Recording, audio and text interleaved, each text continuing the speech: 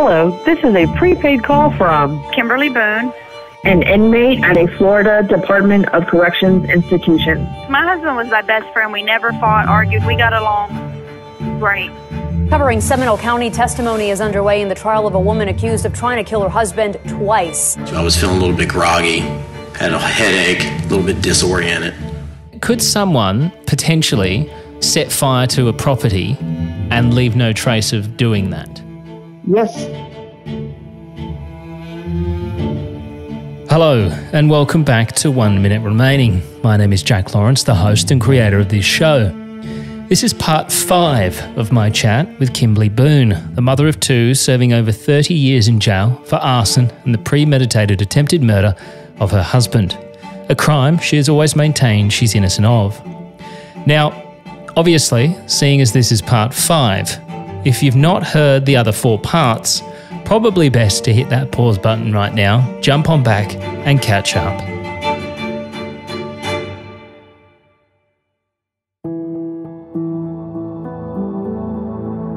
So, in the previous episode, I mentioned that while doing these interviews, I, of course, do my own independent research about these cases. Some I'm able to find plenty of information on, others I'm quite limited, and some I have to solely rely on the information from the men and women who I speak with.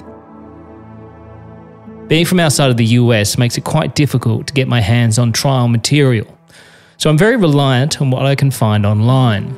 While doing some more extensive research on Kim's case, I came across some evidence and testimony that I was previously unaware of. So I needed to ask Kim about it, as I'll be honest, some of it was bothering me. Now, the reason I wanted to talk to you while editing the episode, your episode, obviously I find bits and pieces as I'm sort of trawling through the internet, and I do have to uh, ask the question because it pops up. Okay. So, while looking around online, I came across a very short clip of Kim's initial trial for the shooting. In this clip, they played a small portion of the original 911 call that Kim made to the police after shooting her husband. And I'm going to be honest, this sounds odd, and it's not something Kim had previously mentioned to me. Uh, somebody just broke in my house and my husband was shot. your husband was shot. Yes, he's laying here. Hurry, please, hurry. He went out the front door. And then he came. I did not shoot you. Rob, I did not shoot you, sweetheart. I was in with the boys. So, I asked her about it. Uh, the 911 call, the original 911 call after the shooting of your husband. Now, in court, they played a recording or, or part of the recording of the 911 call, and they made a big deal about this actually in the media, which is how, which is sort of how I stumbled across it. Kimberly Boone's husband was officially announced as a witness in her attempted murder case. She's accused of shooting him in the family garage, then calling 911 to say, Uh, somebody just broke in my house and my husband was shot. but the suspicion starts later in that same call when her husband is heard a short distance away. And then he came. Rob, I did not shoot you, sweetheart. I was in with the boys. Expect that 911 call and the testimony from her husband to be key evidence in the case. and they played the call, and it said in the call that you were saying that um, my husband was shot by an intruder. So this is where they're saying that you, Right. when you called nine one one, you initially lied about shooting your husband. And you told you you told the nine one one caller it was an intruder that shot your husband, and then they say in the background you can hear your husband saying, "You shot me, you shot me," and then uh, you saying on the phone, "I didn't shoot you, sweetheart. I didn't shoot you." Yeah, I don't. I can't honestly tell you. It's been quite so many years Oh, now. yeah, I can imagine. I don't recall exactly. Um, yeah, and I don't know that it, since since court, I don't think I've heard. oh, I know I haven't heard the 911 call. So I just I know that the part that I remembered was him saying my wife accidentally shot me. Um, I can't I can't affirm or deny that I said an intruder. Um, it was a little confusing right after everything happened, and um, actually, I think I told you before that uh, when I first was trying to remember what happened, I, I had to really sit and think about it because I guess Yeah. you go through a period of kind of like shock, um, and I, I w- couldn't really remember. So I may have said that. I don't recall um, exactly the way it went. You know, Mhm. this many years later. Now, of course, this is kind of irrelevant in the scheme of things, as the jury heard the entire 911 call in that case and other evidence and found her, of course, not guilty. But I still wanted to make sure we covered this off with Kim. Moving forward now to the arson and attempted murder trial. One thing I was initially unaware of while researching this story was testimony from an apparent computer expert. He'd said that on the computer in the home he had found searches for how do house fires start, how much Xanax is too much, and what do fire marshals look for. In late afternoon testimony, a computer expert said Kimberly Boone had searched for how house fires start and how much Xanax is too much. He also states that these searches were done from a login with the name Kim. So again, I asked Kim about it. When the state presented him as a witness, they tried to say that the computer was named Kim and that it was password protected, and I was the only one that was able to use that. Um, what when he was testifying, you know, it just didn't. It wasn't true. So I told my attorney, you know, a certain line of questioning to go, and um, he asked him. He said, "So there's a password assigned to this computer," and he said, "Yes, there is." And he said, Is it activated? And he said, Well, no, it's not. So, you know, and he said, Well, can you explain what that means? And he says, Well, anyone in the household could have used the computer at any time. Just because the computer is named Kim, it's going to come up, you know, as searches done, you know, by Kim because I was the only, you know, that's the only name that the computer had associated with it. Anybody could have logged on. That even though a password was assigned to it, it was inactivated. You didn't need to enter that information to get on there. So what they were trying to say was that I was the only one that could possibly have done these searches because part of my defense was, you know, Rob had these this Xanax in his system, and I had a legal prescription for it. I had really bad panic disorder. I've had it since I was about 20 years old. Yeah. Um, and I only get panic attacks really bad when I'm driving and driving in an unfamiliar area. So um, I went to the doctor every month, and I got a prescription for just exactly enough for to take uh, the prescribed amount you know, each day right before I drove to work and right before I drove home. Yeah. Um, I didn't realize at the time that Xanax was even a street drug. I knew any, didn't know anything about that. Um, and the reason the attempted murder came up was because of Xanax in Rob's system. And what they were trying to say was, I obviously that I crushed up Xanax, put it in a glass of water and had him drink that. My attorney had a different theory is that if he were trying to make it look like or you know maybe he didn't even do it intentionally but he had admitted to the triage nurse when he was taken to the hospital after the fire that he had taken my Xanax on his own. Um, he also later told detectives that too, but he, you know, made a statement. Well, I just didn't do it that day. I didn't take it that day. The big thing was my my attorney's theory was that he took it, but he didn't know. He didn't want to take too much, and I had taken it for, you know, by that time I had been off and on a Xanax for 20 almost 23 years. So, you know, I knew all about about its effects and and all of that. So it wasn't something that I would even need to research or look up. Yeah, sure. Um, it was just kind of a part of my way of life because of the panic disorder that I had. Uh, so that was it. But they tried to make it uh, seem to the jurist that I was the only one that possibly could have done that search, and it's because I wanted to poison him or give him Xanax, but I didn't want him to die from the Xanax. I just wanted to put him to sleep. So that's where that came from. Right. Okay. Something else that I came across while editing the previous episode were more claims from the Boone's neighbour, the man that helped Mr. Boone out of his property when it was on fire. He claimed that he'd seen Kimberly Boone leaving the house minutes before the fire started and loading things into the back of her car. It's interesting because uh, this this gentleman, he was our next door neighbor. Yeah. The first trial that he testified in, he testified in the shooting trial as well. The timeline that he stated in the first trial differed greatly from the second trial. The first trial, he stated that he thought Rob was with me because we used to do everything together, and um, he didn't even realize that Rob was home. But he said, you know, after maybe like 15 minutes of me leaving, he saw smoke coming out the window. Um, the second trial, during uh, the fire trial, he had changed his timeline to maybe it was just like a minute or two after I left.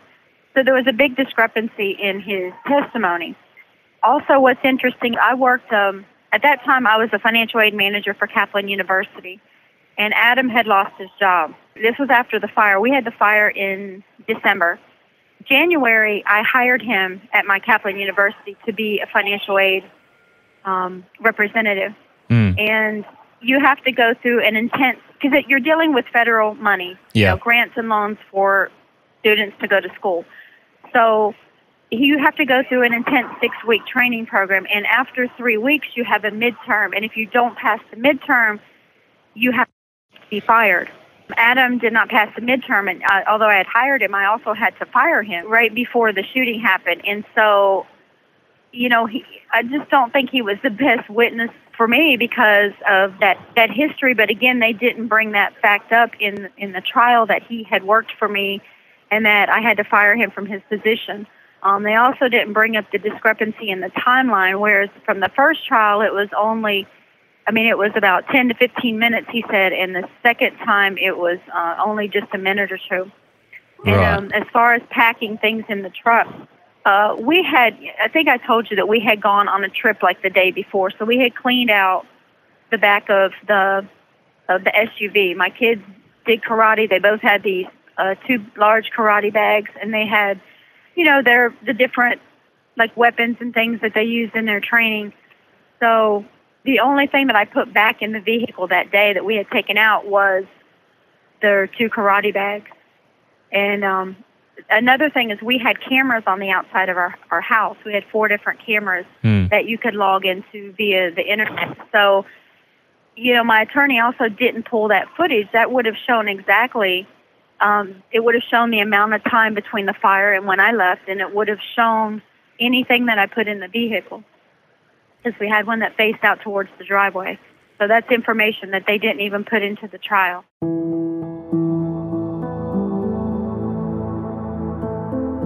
As we know, Kim was found guilty by a jury of her peers after just four hours of deliberation. So I asked Kim what happened directly after the verdict. Obviously, unfortunately, uh, you've, you're found guilty uh, after all of this. What does your lawyer say to you?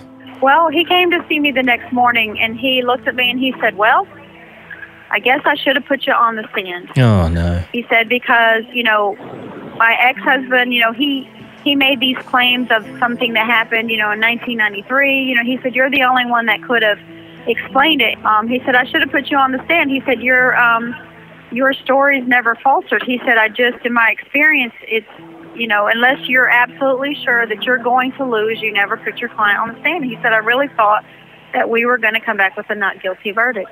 I suppose I can kind of understand that because you'd already beaten the, you know, you'd already come through that shooting case. So I can kind of understand his reasoning behind that. But at any stage during the trial, when, you know, your ex husband's claiming all these things, did you turn to him and say, I need to get up there and I need to, I need to talk? Um, no, actually, I didn't. I kind of, you know, I, really did. You know, since then, I've been a law clerk for seven years now. And since then, hmm. I've learned a lot of things. But then I was really ignorant to the law and really naive. And I really trusted my attorney that his advice would be the best advice to follow at that point. Yeah. I can understand that. I mean, I know nothing about the law either. So if, if I hire someone who is a professional, then I will take their word for things and and go with what, what they suggest. So I can completely appreciate that. So what happens then f- from there? Do you obviously Yeah. you obviously put an appeal in? I would imagine. I did. We put in an appeal. Um, the two items that they focused on was the testimony of my ex-husband Dennis um, and my reasonable hypothesis of innocence because, you know, I think I may have explained before when a case in Florida is 100% circumstantial, not only, you know, if I offer other explanations as to how it could have happened, they have to not only prove with evidence that I'm guilty, they have to disprove with evidence uh, and say that it couldn't have happened any other way. So I presented two reasonable hypotheses of innocence. One was Rob could have started the fire. He had means, he had motive, he had opportunity, he had expertise. The other was that it could truly have been an accident. And even fire marshals up on the stands were, were saying, we can't tell you how the fire started. So if you can't say how a fire started, how are you going to say someone's guilty of setting it? Yeah. it came back denied and the way they didn't offer any kind of opinion, so I couldn't take it to a higher court. It just kind of was dead in the water. So, so if they deny it, then you, you've got no recourse to come back unless they actually give reasons as to why they're denying it. Right, exactly. And they don't have to give you one. Um, the next step is called a post conviction. Um, and that's where you basically say, you know, I wasn't afforded the the representation that that I'm supposed to be afforded. You know, um, I'm promised by the U.S. Constitution is that I'll get fair representation. Um, and so, if you feel like your attorney did something he shouldn't have, or didn't do something that he should have, those are the that's the the motion you bring it up on. Well, you have two years to file that motion.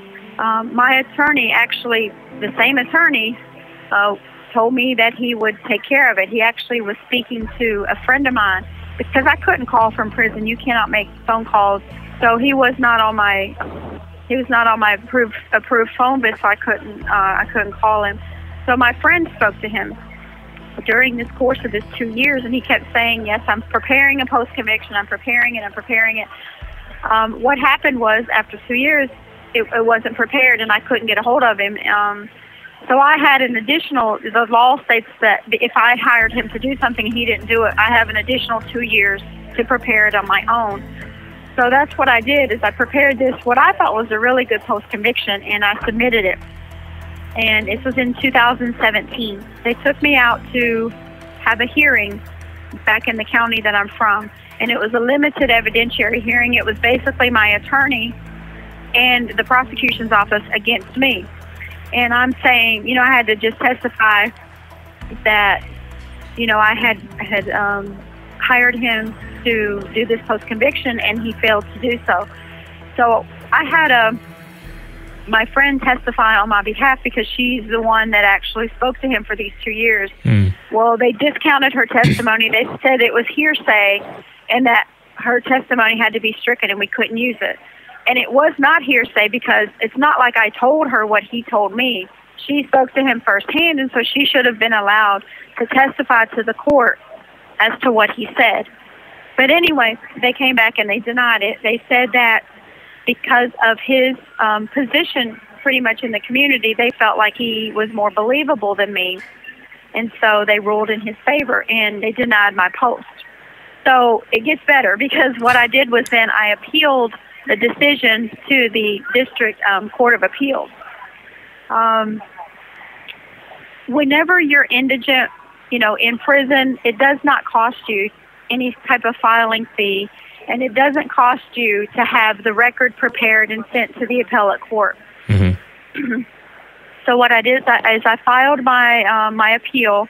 I got the paperwork back from the appellate court that said it was a post conviction appeal and that there was no charge. Within you know a couple of weeks later, I got two pieces of paper from the county court. One said that I did not pay the hundred dollar filing fee for the notice of appeal, and then another one was trying to charge me two hundred and four dollars for the record because it said indigency paperwork not approved. Well, there's no way that they could not have found me indigent. I had been in prison at that point for what nine years, and I had no, you know, we don't earn money here. I had no money, no assets left, and so I felt like it was a ploy by that same county that convicted me to keep it out of the appellate court because I was at the same time trying to get communication established with my children. So a couple of months before that, I had sent indigency paperwork into the county court and they approved it. So you you approved me in April, but in August you deny me and say I'm not indigent. So I just felt like it was something else, you know, trying to prevent me, you know, to file this in court. So hmm. I never got an appeal heard on that. So, as I'm sure you can imagine, getting any ruling overturned is certainly not easy and takes years of paperwork and fighting. Also, courts are not likely to easily overturn a jury's decision, as it's not a good look. the whole American justice system is based on being judged by a, um, a jury of your peers. And the problem with it is if the appellate courts overturn the jurors' decisions all the time, you're basically saying the system does not work, and it doesn't. And the problem with anybody serving on the jury is they don't understand the law. Yeah. So they are they're, they're left to make these life and death determinations for people and they don't even understand what they're making a decision and about. And then they have nothing to do with the sentencing part of it. There's so many people here that the jurist will find them guilty, but later they'll say, "I had no idea they were going to get, you know, 30 years in prison or 25 years in prison." They they don't know the Hmm. repercussions of of finding somebody guilty. As we've spoken about many times during Kim's story, the biggest issue here when it comes to a jury trial is just how much publicity both of Kim's cases got in the media and how much they were covered in the news. In fact, in one news report, the journalist states that this jury knew nothing about the first case. Kimberly Boone was already tried once for attempted murder and convinced the jury in that case she thought her husband was an intruder when she shot him. Covering Seminole County, testimony is underway in the trial of a woman accused of trying to kill her husband twice. They're saying that Kimberly Boone was an embezzler, that she owed her former boss hundreds of thousands of dollars, and that she would do anything to cash in on her husband's insurance policy, including trying to kill him. Tough talk between the victim in an attempted murder case and his ex wife's lawyer. Now, he's the same defense attorney who defended her last year in the other attempted murder case. The state says that Kimberly Boone was basically an embezzler, and they say she was very good at it. Trial for Kimberly Boone just underway in Seminole County, but this trial only covers one of the two counts the case where she's accused of shooting her husband in the garage, then playing it off as a case of mistaken identity. You know, Kimberly Boone stood trial for attempted murder a year ago. Jurors are being asked whether they remember past coverage of this bizarre case. And if so, can they rule with an unbiased mind? Kimberly Boone. Kimberly Boone. Kimberly Boone. Kimberly Boone. Kimberly Boone. Trial for Kimberly Boone. Kimberly Boone. Kimberly Boone. Kimberly Boone. Jurors say Kimberly Boone did it, tried to set her drugged husband on fire.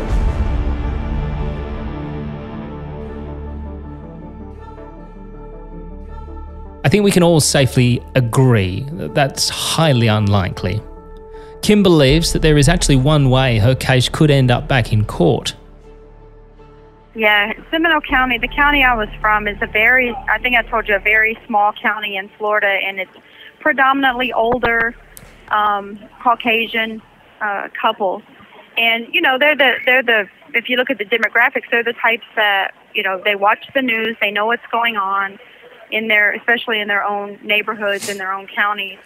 Um, the neighborhood I lived in, you know, was. Uh, uh, I don't know if you've heard of like Lockheed Martin. They're a big defense contractor. It's a lot of their retirees were in that neighborhood. So, you know, I, can't, I find it really hard to believe that these people would never have heard about, you know, a shooting that occurred in that that neighborhood the way that they sensationalized it in the news.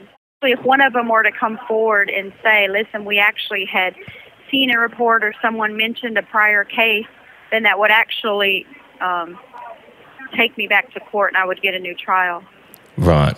They haven't come forward this far, you know, it's been all these many years. So, So, with that option seeming rather unlikely, Kim faces the very real future of a life behind bars, as she has exhausted all of her appeals. Um, no, I don't. After the appeal um, is the post conviction, and that's the one I was telling you that Yeah. my attorney was supposed to have filed and didn't. And so, um, there really, once you do that, there's really not much left to do. That sounds well awful, to be honest. It is. I guess they had to put rules and laws in place because, you know, there are new people that get sentenced to prison every day, and if the the people that have already been in prison for years continuously clog up the court system with motions, then nobody else new has a chance to get anything in. So. Yeah. Still on the topic of the media, even after Kim's conviction, she was still making headlines, as phone conversations between her and another woman on trial for a similar conviction made their way into the hands of the media. This is something we haven't spoken about. They made a massive deal out of your um, friendship with a lady who was in prison. Um, I can't remember her name now. 'cause I- Anita Smithey. yeah, that's right, because the- you guys were had Yeah, similar it's similar charges. Both shot their husbands and formed a bond behind bars. Now, newly released jail recordings show the continued relationship between Anita Smithey and Kimberly Boone. Gal pals behind bars, and tonight we're hearing some of the recorded conversations between two women who shot their husbands. Um, we actually only met when she came in to county jail. That's the first time I had even seen her, but we were kind of, they called us kindred spirits because we had a similar background. She was a professional woman who worked. She was she had been married and divorced and remarried, and she had you know two children of her own and a couple of stepchildren. Mm. Um, and we were close to the same age, so we were, you know, we were similar. Um, a lot of a lot of similarities between us, and I. I was kind of like the mother when people were to come into the county jail. They didn't have uh, warm clothing, and I come since I had been there for three years, I would collect clothing from people, and when new people would come in, I would distribute it. So it's just, you know, I was kind to her, and we we struck up a friendship. And um, she had actually had an abusive husband and shot him and killed him, and um, but really, you know, we. I don't know. We just, like I said, we had a lot of the same interests because of our age, and we were born in the same time era. And you know, our friendship was more about outside interests than than anything that we were going through. Did she um, plead guilty to shooting and killing her husband? No, she pled not guilty. She was out on like a bond and an ankle monitor. I only spent like a month with her in county jail. Yeah, right. But she remained my friend. I would call her and talk to her. They recorded our phone conversations. They gave me a plea of uh, 30 years uh, for second degree murder and five years for tampering with evidence. What? Yeah, I'm like, what? So you're trying to say that I injured another person with um, a weapon after the crime was committed, and you're trying to say I stabbed myself? Right. You're going to give me 15 years because you said I stabbed myself? Right. That's what they offered me is 30 years. My first and only offer was 30 years. That was for the um, shooting, and then they never made me an offer for the fire. But she um, she went to trial. I think after about five years, and she lost, and she was sentenced to 40 years in prison. Um, and I had already been in prison for five or six years, so they kind of brought my case back to the light. Then, you know, they called us um, the Wives Murder Club, you know, kind of like after a James Patterson book. They tried to sensationalize it and make it like we had some kind of pact to kill our husbands, but we didn't even know each other until, Mm. you know, she was arrested. Yeah. Um, but she ultimately, she, she just got out of prison last year. She won a post conviction proceeding, went back to court, and they gave her time served and 10 years probation, and she's home now. And she shot her husband. She shot him and killed him, yes. Your husband isn't dead, so I mean, No, he's, he's not.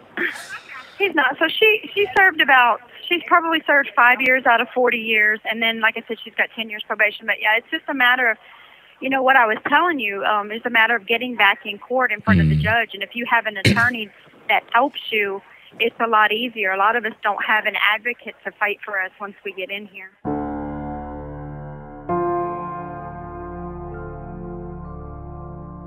So, with Kim's appeals all exhausted, she looks to spend the rest of her life behind bars. So, I wanted to find out exactly what that life looks like on a day to day basis.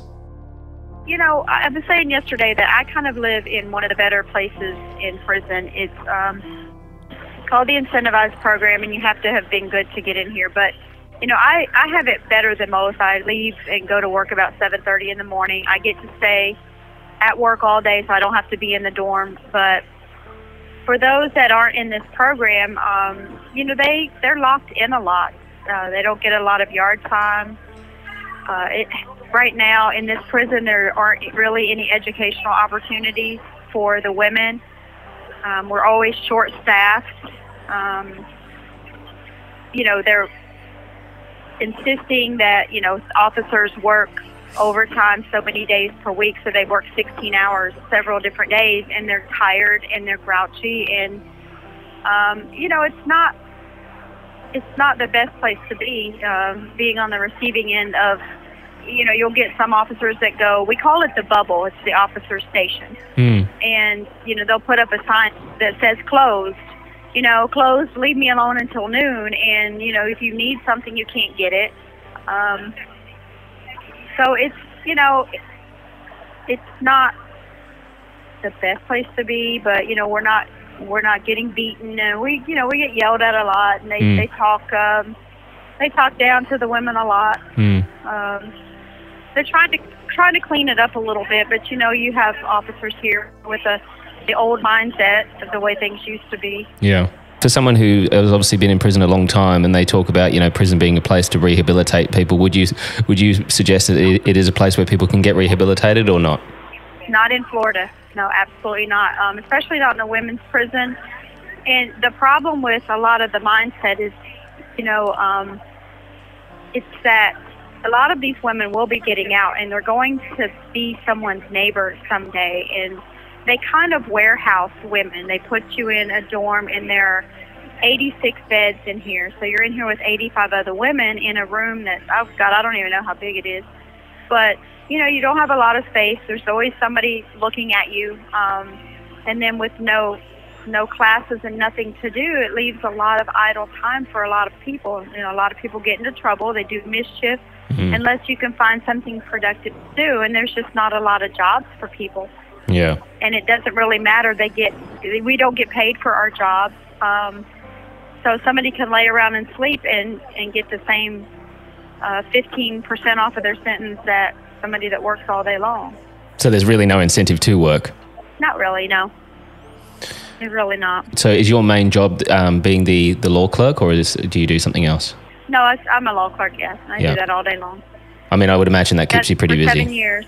It keeps me very busy. For you know, everybody wants to get out of prison for some reason.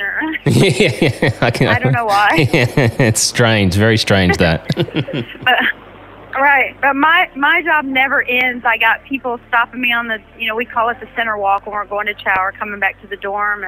They're in the dorm. Kim, I need your help. I need your help. And so, you know, you kind of have to have a lot of patience to do that job. Yeah, because I'm yeah, I'm sure you're getting uh, uh, yeah, I would imagine because people think that they obviously they want their their stuff done first, and it's all important and needs to be done as quickly as possible. So. Yeah, I'm sure there's a lot of people that um, that are constantly on at you. Yes, and we're we're under a lot of deadlines for things. You know, like I told you with the courts, people have certain deadlines, and sometimes they wait until the last minute to come in. And it's their responsibility to to really get the stuff in before their deadline. But you know, if you're somebody like like I am that really care about people and care, you know, sometimes I feel like I care about people's cases more than they do. Right. You know, they get here and they get caught up. They get caught up in prison life, and they just kind of keep putting it off. They're getting tired of being disappointed by denials from the court, and they just kind of give up, and they don't really have anything to look forward to. Yeah. Well, look, I mean, I think it's fantastic what you do. You know, obviously, someone in your situation could just decide that, you know, whatever, I, I, I don't, I can't be bothered. I'm just going to sit here and, you know, um, just sort of give up, I suppose. But you haven't. You've sort of focused yourself on helping others, which is um, very commendable. Thank you. And I've always wanted to do. You've always wanted to get involved with the law. Uh, well, since I was here, it just always seemed like, you know, and when I saw what kind of a deal I got, I knew that I wasn't the only one. And when I started, you know, getting into these cases and helping people, I realize that there are a lot of people that get a lot of raw deals, and somebody needs to help them.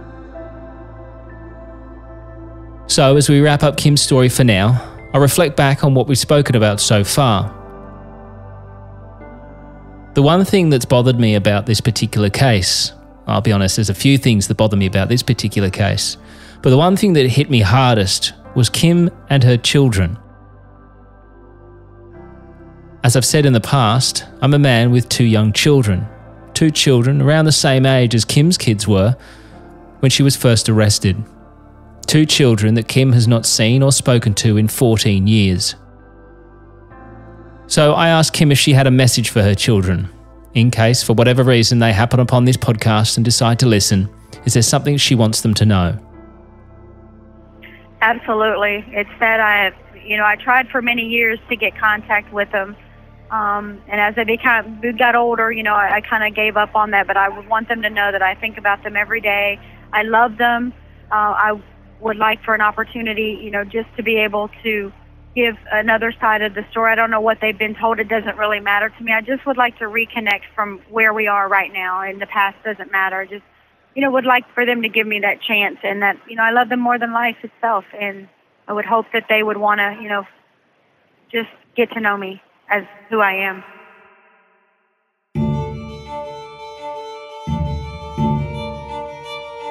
You have one minute remaining.